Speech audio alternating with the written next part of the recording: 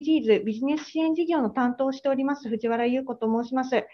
今日は主に中小企業 SDGs ビジネス支援事業について、えー、事例も含めて、えー、ご紹介をさせていただきたいと思います。えー、まずその前に JICA についても簡単にご説明させていただきます。はい。えー、こちらなんですけれども、えー、JICA の正式名称ですね、独立行政法人国際協力機構と言います。信頼で世界をつなぐを合言葉に国際協力を行っている、えー、外務省所管の、えー、独立行政法人となっております。えー、まず、JICA 中国なんですけれども、センターの方は、えー、中国地方5県における JICA 事業の窓口として東広島にあります。はい。で、えー、ちょっとこちらのスライド、右下の方に SDGs のロゴが見えますが、各事業を通じて途上国の課題解決に協力し、SDGs に貢献をしています。はい。で、えー、あとこのスライド、右上の方にあの橋の写真が見えると思うんですけれども、OD を通じたインフラ整備と、えー、それから政策制度、整備を通じですね、開発途上国の産業育成や貿易投資環境の改善にも貢献をしております。はい。あと左側にはあの人が写った写真が2枚見えるかと思いますけれども、えー、青年海外協力隊で知られるボランティア事業ですとか、それからあの、まあ、先般、えトンガ王国で火山噴火及び津波の被害がありましたが、この際にも、え緊急援助を行っております。この国際緊急援助と書いてある箇所ですね。えその際は呉の海上自衛隊の基地から、え JICA がじ、え提供しました、えー飲料水と、まあ、支援物資が送られています。はい、このようにあの資金、それから技術、人材育成など、開発途上国に対しての支援を行っているということです。で次、スライド移ります。で、ここからは、あの、民間連携の事業の方をちょっとご紹介していきたいと思うんですけれども、えー、こちらですね、本事業では、あの、優れた製品技術等を有し、海外展開を目指す日本企業様と、えー、JICA が連携することで、開発途上国の社会的、経済的課題の解決に貢献、えー、もちろん日本企業様の海外展開ですね、それから、えー、地域経済の活性化、ひいては SDGs に貢献するということを目指しております。長年の ODA であの培ってきた150の国や、それからえー、地域の公的機関とのつながり、それから国内外拠点のネットワークなどの JICA のリソースを活用し、途上国への海外展開を検討される日本企業様を支援しております。はい。えー、その中小企業 SDGs ビジネスの支援事業、えー、こちらの図が分かりやすいと思うんですけれども、まず海外展開をしたいと思っていらっしゃる日本企業様、左側に今、えー、緑色で図があると思うんですけれども、それと、あとは、まあ、途上国ですね。えー、自国がこう抱える開発課題というのを解決したいと思ってらっしゃる、その途上国。その間で、えっ、ー、と、まあ、JICA の方が入りまして、こう、マッチングを支援するという形になっています。で、双方にとって、このウィンウィンの事業であるというところが、まあ、特徴かと思います。はい。えー、次に事業概要を説明させていただきます。JICA では途上国の課題解決につながる事業の可能性を調査するための支援メニューを用意しております。で、えー、ここで大切なお知らせなんですが、はい、えー、次年度ですね、制度改変を予定しております。で、えー、こちらなんですけれども、あのまあ、事業開始から、まあ、10年余りが経ってですね、手続きのまあ煩雑さであるとか、時間をちょっと要するというところも、え課題でありまして、え改編を予定しております。ですので、ここからご説明する内容は現行の事業の内容となりますので、ご了承ください。で、支援メニューは、え、見ていただいています通り、大きく分けて、こう2つですね。上段、下段で、え、中小、中堅企業向け、それから大企業向けとあります。え、また各社のビジネス段階に応じてですね、3つのスキームを用意しております。支援期間は数ヶ月から3年程度、また支援の上限額は850万円から2億円となっております。はい。えー、次に、その中小企業 SDGs ビジネス支援事業の、えー、採択実績の、まあ、内訳になります。えー、右上の方、あ、すいません、えー、左上の方から行きましょう。えー、対象地域、えこちらですね、え圧倒的に東南アジアが多いです。えっと、私もいろいろ見てる中で、ベトナム案件が多い印象を受けております。えー、そして、えー、同じく上段の右側、分野課題。え、こちらですと、まあ、農業関連、次にインフラ整備、運輸交通、そして、え、水関連、保険医療というふうに、え、なっております。で、法人規模としては中小企業が約9割です。で、本州の所在地としては、やはりあの首都圏ですね、えあのまあ、関東が多いです。で、中国地方は全体の、まあ、4%となっております。で、えー、内訳なんですけれども、えー、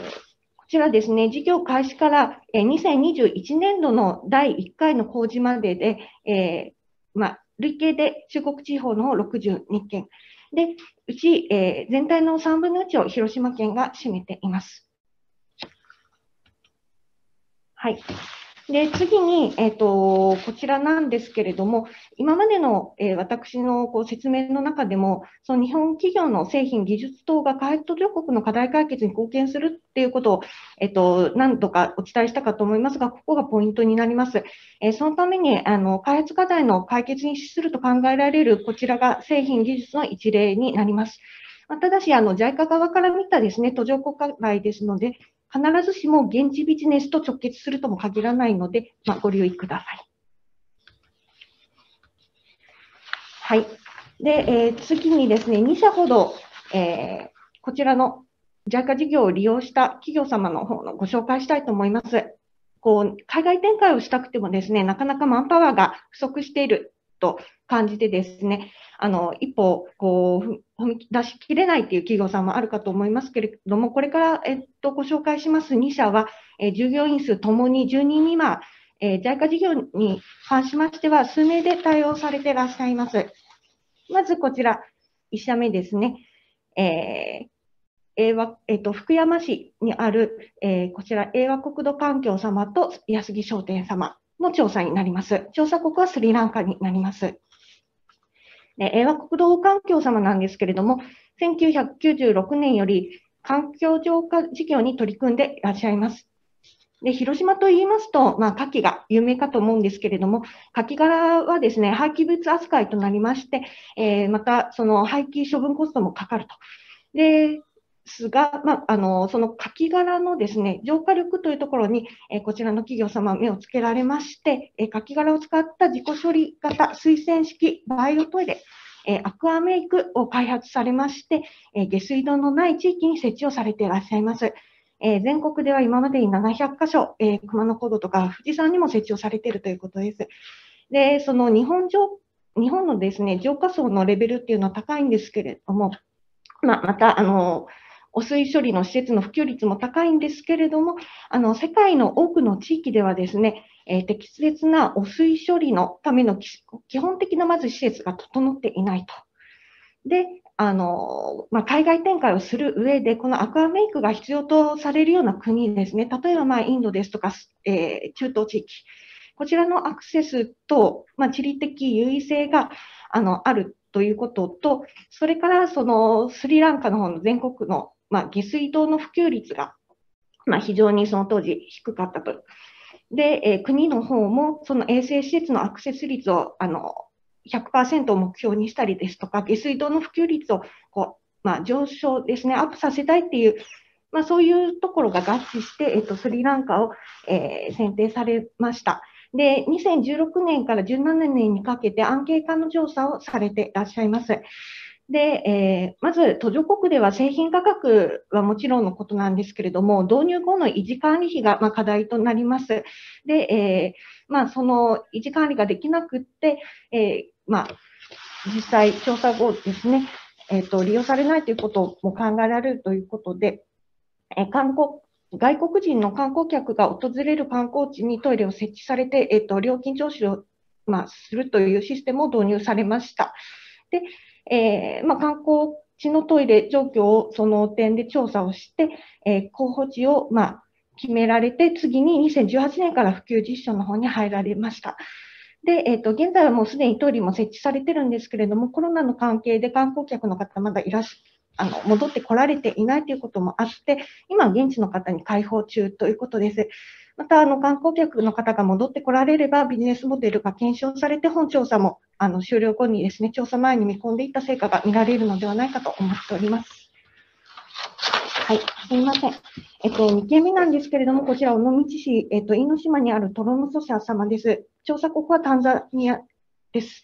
で、えっと、こちらですね、因島の方で、まあ、造船業昔栄えてたんですけれども、あのまあ、衰退、その造船業が衰退していく中で、えー、まあ、陸に上がってのものづくりということで、このモミガーライトという、えー、機械の方開発されました。で、モミガーライトなんですけれども、モミ殻を固形燃料、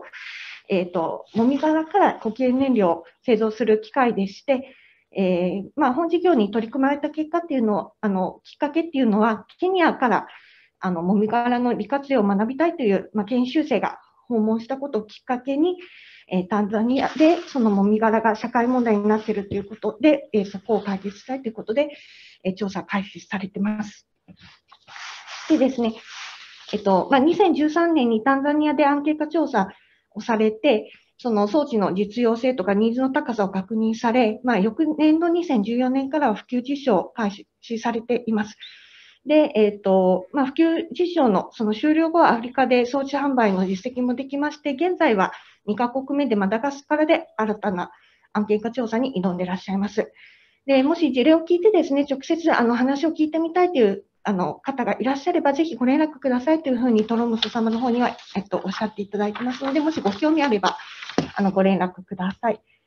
あすいません。あの、ちょっと駆け足なんですけれども。で、もし JICA 事業に興味持たれた企業様いらっしゃいましたらですね、えっと、先ほど課題解決っていう、えー、言葉を何度か出していたんですけれども、この JICA ホームページ上にあります情報提供サイト、こちらをご利用ください。あの対象分野、地域ごとにですね、検索をかけて課題の内容、それから想定される製品や用途に関する情報収集を、えしていただくこと可能になっております。で、えっ、と、こちらなんですけれども、えっ、と、民間連携事業のホームページになります。で、えー、新制度についてですはですが、こちらのページで、えっと、ご案内を予定しております。はい。あと、えっと、今日、えー、広島県の2さんについてご紹介をさせていただきましたが、あの全国の、えー、企業様で、えー、こちらの事業の方に採択されたもの、それから、えっと、調査が終わっているものに関しては報告書も掲載されてますので、ぜひご覧ください。はい、あと2つほどちょっと支援メニュー紹介して終わります。えっと、こちらの民間、えっと、連携ボランティアなんですけれども、青年海外協力隊の、え企業バージョンのようなものです。で、えっ、と、こちらの方、えー、あ、はい。あ、すいません。少しオーバーしてますね。失礼しました。で、えっ、ー、と、こちらなんですけれども、えっ、と、企業ごとに派遣内容のカスタマイズが可能ですので、もしご興味あれば、えっ、と、民間連携ボランティアのページご覧ください。あと、パートなんですが、えこちらの方は、えっと、グローバル人材を求めている団体と、それから国際的な活躍を目指す人材をつなぐサイトになっております。え、こちら、海外経験や高い専門性を有したグローバル人材登録しておりますので、えー人えっと、そうですね、海外展開に必要な人材の確保が可能となっておりますので、えー、こちら登録利用料無料となってますので、ぜひご活用ください。じゃあすいません、駆け足でしたが、また何かありましたら、JICA 中国の方までお問い合わせください。以上です。ありがとうございました。